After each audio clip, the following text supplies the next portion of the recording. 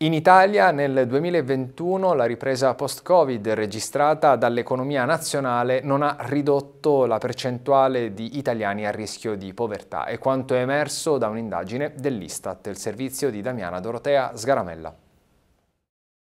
L'Italia non è un paese per famiglie e quanto emerso dall'ultima indagine Istat dal titolo Condizioni di vita e reddito delle famiglie. Secondo l'Istituto Nazionale di Statistica, il Sud rimane la zona con la percentuale più alta di persone a rischio di povertà o esclusione sociale, stabile rispetto al 2020 e in diminuzione rispetto all'anno prima. In Puglia e Sicilia si riduce il rischio, mentre in aumento in Campania per l'incremento della grave deprivazione e della bassa intensità lavorativa. Nel dettaglio gli italiani in difficoltà economica sono quasi 15 milioni, oltre il 25% della popolazione, un dato stabile rispetto a poco oltre al 25% sia del 2020 che del 2019. In condizioni di criticità si trova circa un quarto degli italiani e a soffrirne sarebbero soprattutto i nuclei familiari con minori.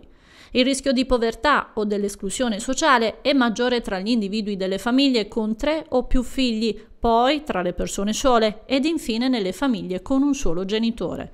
Inoltre circa 3.300.000 persone vivono una situazione di grave deprivazione materiale, e cioè presenta almeno 4 dei 9 segnali di deprivazione individuati dall'indicatore Europa 2020, mentre oltre l'11% degli individui vive in famiglie a bassa intensità di lavoro, con componenti tra i 18 e i 59 anni che hanno lavorato meno di un quinto del tempo.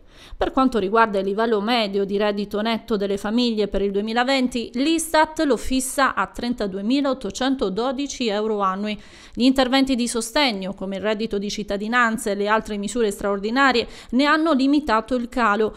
Si stima infatti che il reddito di cittadinanza abbia raggiunto oltre 1,3 milioni di famiglie, con un beneficio annuo di 5.216 euro pro capite.